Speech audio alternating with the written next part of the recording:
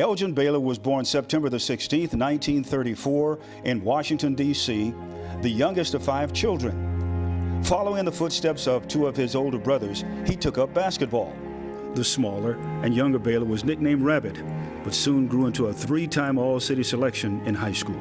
After quitting school and working in a furniture store, Baylor eventually landed at Seattle University in 1956. He starred as a two-time All-American for the Chieftains, and he led them to the 1958 National Championship game, where he was named the most outstanding player despite losing to Kentucky. The Minneapolis Lakers would use the number one overall pick in the 1958 NBA draft on Baylor.